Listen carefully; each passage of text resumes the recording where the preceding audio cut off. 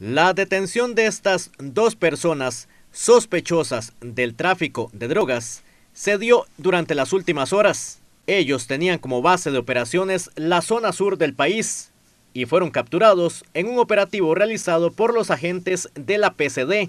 El operativo se dio tras la investigación que realizaron los oficiales de la Policía de Control de Drogas y como producto de dichas pesquisas comprobaron que los dos sospechosos estaban comercializando la droga vía terrestre por los pasos fronterizos ubicados en Paso Canoas.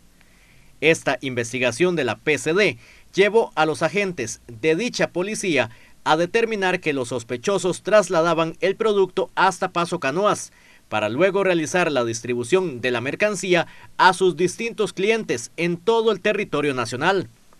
Uno de los detenidos tiene 49 años de nacionalidad colombiana y nacionalizado tico, y otro de nacionalidad costarricense de 26 años, con antecedentes por los delitos de receptación y tenencia de armas. Este caso quedó bajo investigación.